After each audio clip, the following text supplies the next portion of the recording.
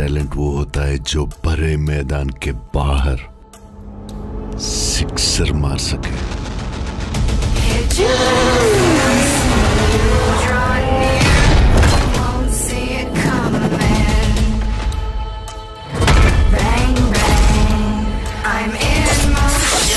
क्या है प्रभास की बीसवीं फ़िल्म का नाम? इस फ़िल्म में भाग्यश्री का क्या रोल होने वाला है? क्या है फ़िल्म की कहानी और बाहुबली प्रभास इसमें किस किरदार में नज़र आएँगे? हेलो फ्रेंड्स आप देख रहे हैं बॉलीग्राफ स्टूडियोज मैं हूँ सोनिका जैद बहुत दिनों से, बहुत टाइम से चर्चा थी प्रभास 20 की। फ़िल्म का टाइटल नहीं आया था, इसीलिए प्रभास 20 फ़िल्म का नाम रखा गया था। और सभी को लग रहा था कि प्रभास की अगली फ़िल्म आ रही है, प्रभास 20 नाम से। लेकिन अब कहीं ना कहीं टाइटल का खुलासा हो चुका है और ऑफिशियल अनाउंसमेंट अभी बाकी है, लेकिन हमारा काम है इन्फॉर्मेशन सबसे पहले आपको देना।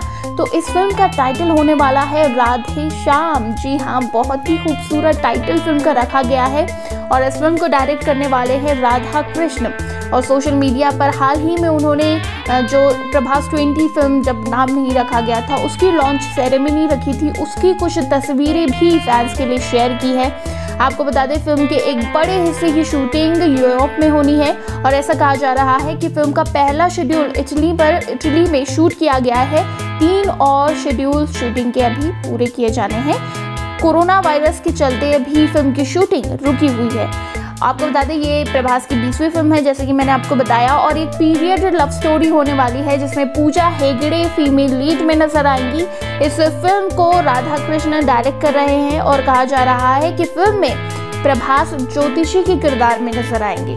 और साथ ही आपको बता दें मैंने प्यार किया एक्ट्रेस भाग्यश्री भी इसमें नज़र आएँगी। बहुत टाइम बाद उनको बड़े पर्दे पर देखा जाएगा और कहा जा रहा है कि प्रभास की माँ का रोल वो निभाएँगी और ये रोल बहुत ज़्यादा अहम होगा इसीलिए इसे अभी तक राज ही रखा गया है। ज़्यादा जानकारी नहीं दी गई है।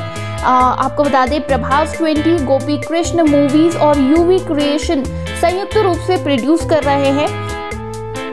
इसके अलावा आपको बता दें कि प्रभास 20 का तो हो ही चुका है कि खबरें आ चुकी है कि बीसवीं फ़िल्म आने वाली है राधे श्याम, लेकिन प्रभास 21 भी आने वाली है, यानी उनकी इक्कीसवीं फ़िल्म ये भी तय हो गया है, जिसे अश्विन डायरेक्ट करने वाले हैं। और साथ ही आपको मैंने पहले भी बताया था कि एक और फ़िल्म आने वाली है प्रभास की, जिसे के के डायरेक्टर डायरेक्ट कर रहे हैं, यानी प्रशांत नील। यानी कि प्रभास की फ़िल्मों के बारे में बहुत कुछ है। यानी कि प्रभास की फ़िल्मों के बारे में बहुत कुछ है। तो आप बस इंतज़ार कीजिए क्योंकि जल्द से जल्द प्रभास उसी अंदाज में आपको बड़े पर्दे पर नज़र आएँगे। आपको प्रभास की फ़िल्मों का कितना इंतज़ार है, हमें नीचे कमेंट सेक्शन में ज़रूर बताइएगा। और इसी तरह के दूसरे बॉलीवुड टॉलीवुड हॉलीवुड अपडेट्स के लिए सब्सक्राइब करें हमारे चैनल बॉलीग्राफ स्टूडियोज़ को।